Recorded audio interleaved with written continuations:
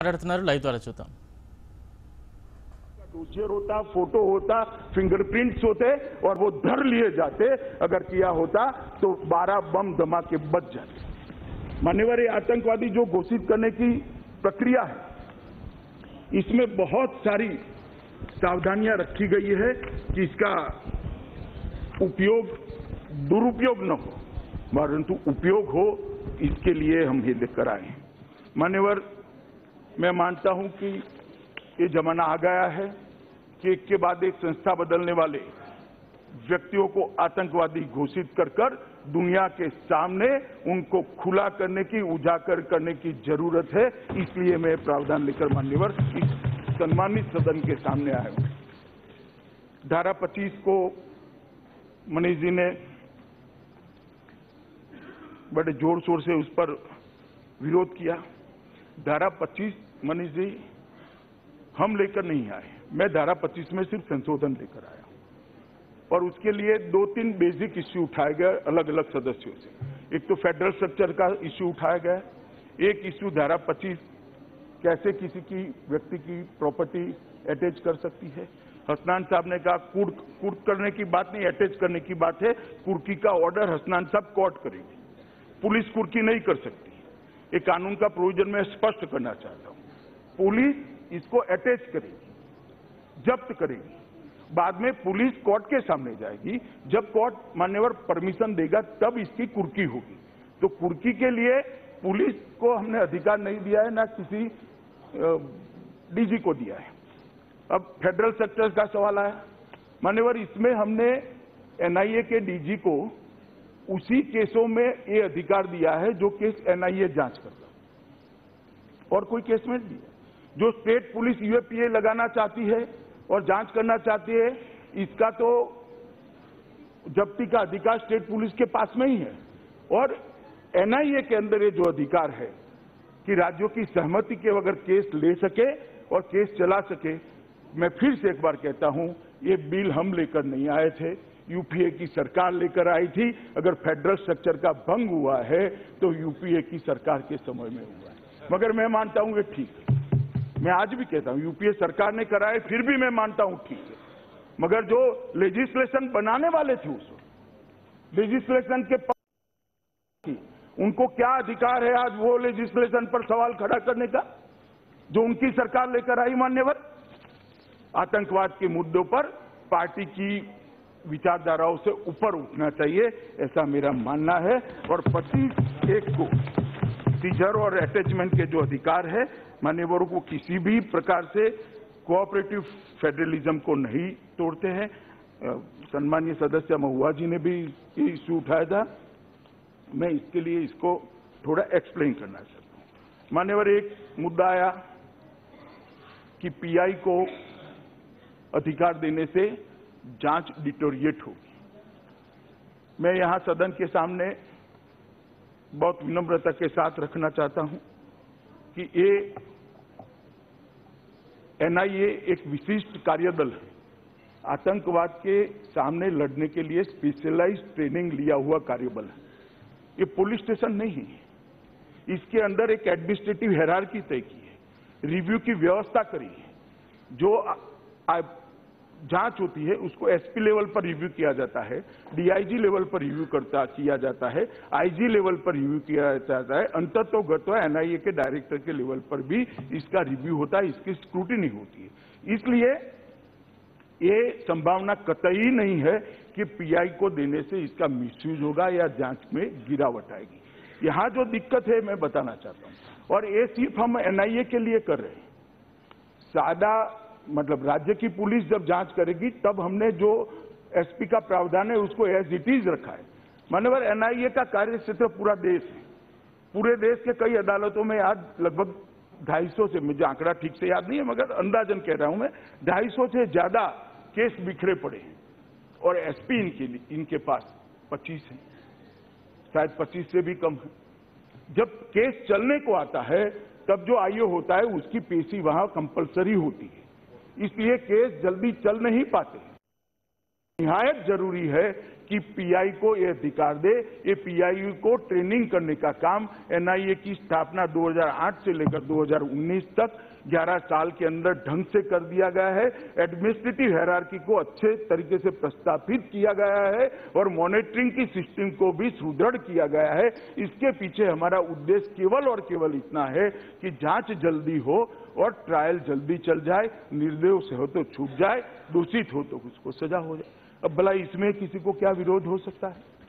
Dilute कर दिया dilute कर दिया डायल्यूट एक और कह रहे हो टाइट मत करो, एक और कहते हो डायल्यूट मत करो। मेरी तो समझ में ही नहीं आता क्या करें। मान्यवर, एक सवाल उठाया गया कि दिनों तक पेशी नहीं हो रही, ऐसा नहीं। यूएपीए के कानून के अंदर 24 घंटे के अंदर ही कोर्ट के सामने पेश करने का प्रोविज़न सीआरपीसी जैसा ही है, इसको हम बदलना चाहते भी नहीं, बदला भी नहीं।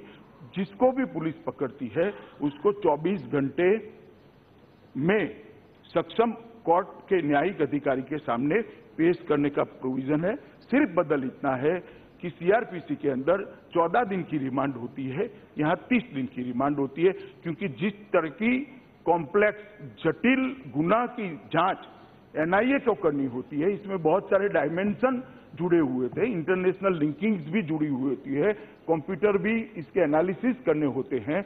मान्यवर कई बार फेक करेंसी के केस होते हैं तो उसको अन्य जगहों पे भी ले जाकर जाँच करनी पड़ती है। तो इसलिए 14 दिन की जगह उसकी रिमांड का अवधि 30 दिन का है। बाकी उसको तो 24 घंटे में जज के सामने पेश करना ही है। और ये 30 दिन भी मैं नहीं लाया था। मैं नहीं लाया हूँ। श्रीमान चिदम्बरम साहब लाए थे, ये सिर्फ़ आपकी याद में रही। अमरोहा के केस का श्रीमान दानिश अली जी और सदस्य ओवैसी साहब ने ज़िक्र किया कि अमरोहा के केस में साहब, पुलिस को बदनाम करना बहुत सरल होता है। एक टाइटल बना दिया, यहाँ बोले कि चार लोग इतने, निर्दोष चार लोग इतने समय जेल में रहे। कौन जिम्मेदार है? कौन जिम्मेदार है? आप अभी यूएपीए को छोड़ दो। सीआरपीसी के अंदर किसी को पकड़ते हो, और वो अगर निर्दोष छूट जाता है तो कौन जिम्मेदार है? मैं पूछना चाहता हूँ, जो मुझे सवाल पूछते उनको पूछना चाहता हूँ। तो सीआरपीसी भी एबोलिश कर दे दादा। तो सीआरपीसी भी एबोलिश कर दे। लॉलेसनेस कर दे देश में।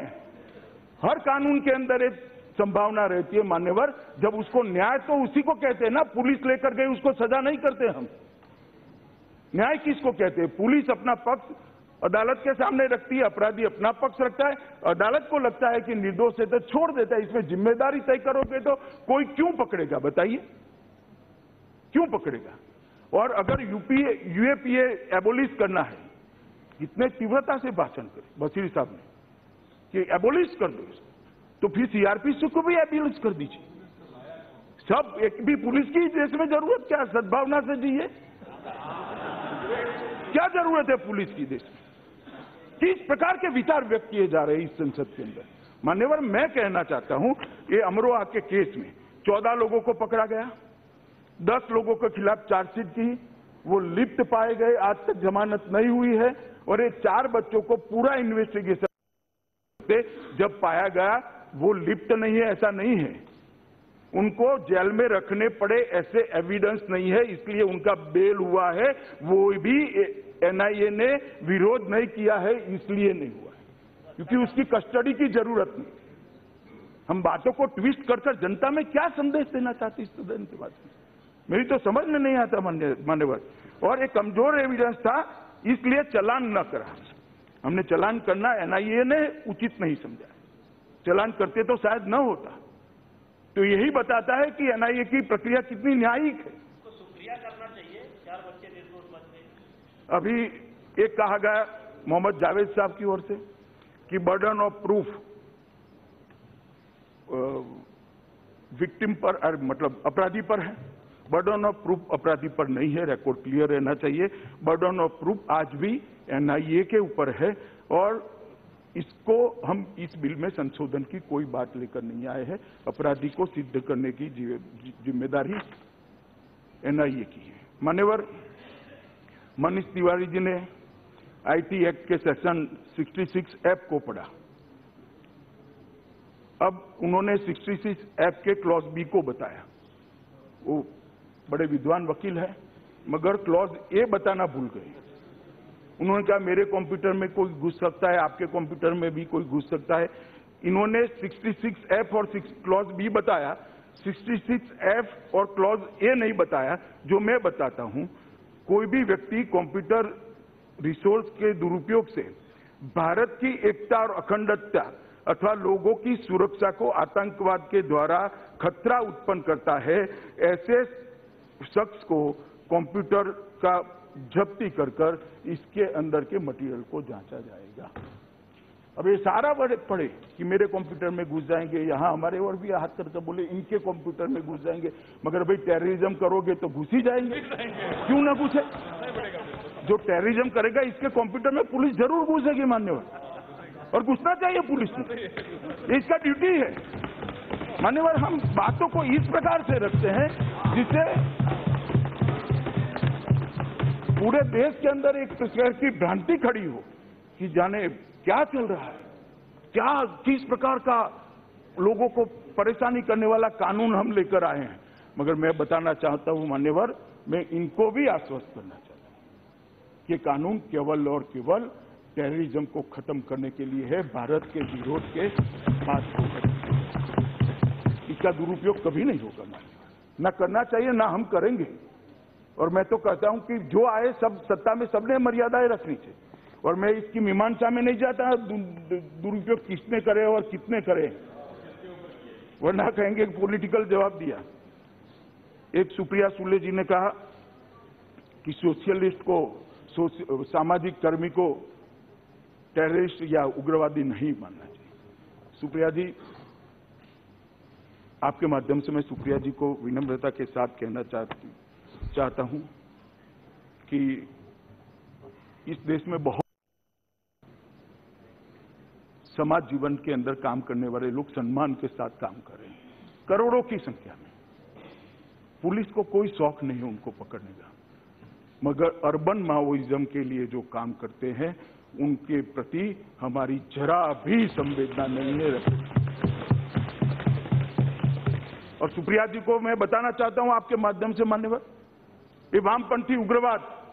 शुरुआत में एक वैचारिक आंदोलन माना जाता था, जिसने देश के हज़ारों लोगों की जान ली। वैचारिक आंदोलन का चोला पहनकर वामपंथी उग्रवाद को फैलाने वाले लोगों के लिए हमारी सरकार के मन में जरा भी दया नहीं है। हम कठोरता के साथ कार्य जो चोला पहनते हैं वैचारिक आंदोलन का, और बढ़ावा देते हैं वामपंथी उग्रवाद को, उनको रोकना पड़ेगा। अनपढ़ लोगों को अबूढ़ लोगों को, गरीब लोगों को गुमराह कर कर हाथ में बंदूकें पकड़ाना, अपने उद्देश्य का उल्टू, उल्लू सीधा करना, मैं नहीं मानता है वैचारिक आंदोलन है, मैं नहीं मानता है सामाजिक काम और मैं मानता हूँ मान्यवर कि पुलिस ने जो किया वो ठीक किया।